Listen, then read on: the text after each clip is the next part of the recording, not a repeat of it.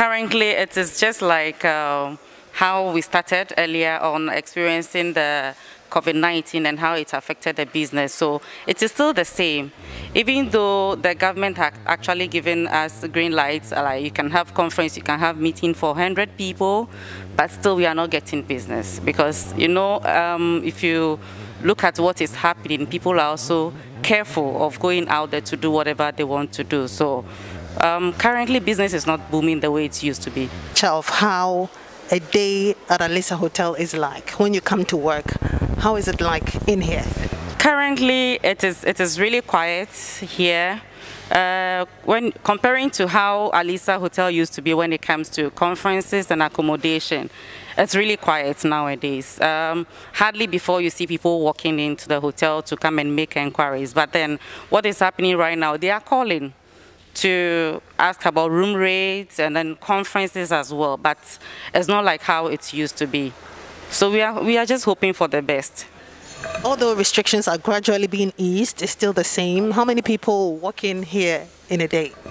In a day, when you look at averagely, let's say six, seven, between six and seven a day. Compared to how many people back then before COVID-19 came in?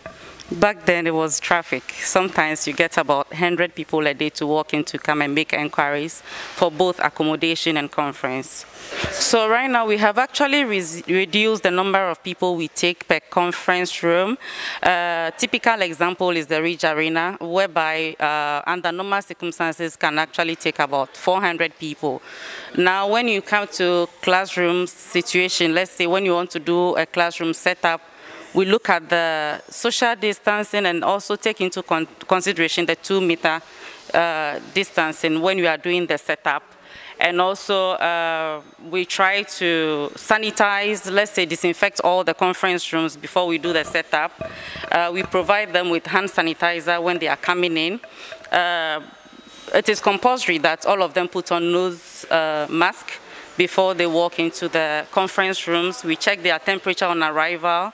We make sure they wash their hands and all that before you, they, they access the conference rooms.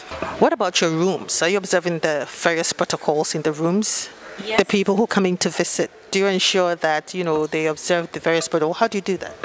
So currently, uh, what we have, we are all seeing right now is the new uh, rules that have actually come out.